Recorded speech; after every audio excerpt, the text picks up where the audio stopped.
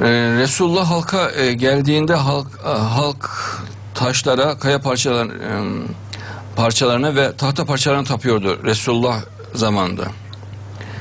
Uzun bir hadisle Cafer Adı- Sadık Aleyhisselam söylüyor. Ama kaimimiz Hazreti Mehdi Aleyhisselam kıyam ettiğinde, zuhur ettiğinde halk Allah'ın kitabını kendilerine göre yorumlayarak onu delil olarak gösterecekler. Yani sahtekar bazı hocalar e, Kur'an'ın hükmünü değiştirerek, dil diline eğip bükerek, Allah böyle diyor diyerek, Kur'an'da olmadığı halde öyle gibi göstertip Mehdi'ye karşı mücadele edecekler diyor. Evet. Bakın 1300 sene, 1400 sene öncesinden Peygamber Efendimiz'in bildirdiği gerçekler bunlar. Bak kaimimiz Hazreti Mehdi kıyam ettiğinde, zuhur ettiğinde halk yani cahil insanlar Allah'ın kitabını kendilerine göre yorumlayarak onu delil olarak Mehdi'ye karşı gösterecekler diyor. Mehdi'ye karşı mücadelede. Yani çarpıtacaklar diyor.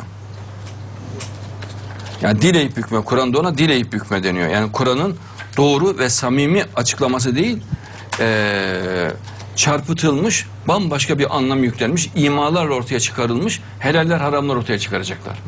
Bu kastediliyor.